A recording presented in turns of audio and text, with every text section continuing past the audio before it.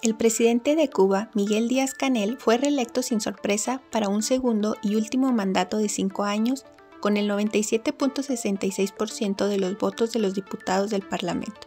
Díaz Canel, un ingeniero electrónico de 62 años, gobierna Cuba desde 2018. Fue el primer civil en tomar posesión del país desde los mandatos de los hermanos Fidel y Raúl Castro, quienes mantuvieron el poder desde el triunfo de la revolución en 1959 mientras que los críticos del sistema político cubano señalan que el proceso electoral no da cabida a voces opositoras y que el Parlamento respalda sin discusión al oficialismo.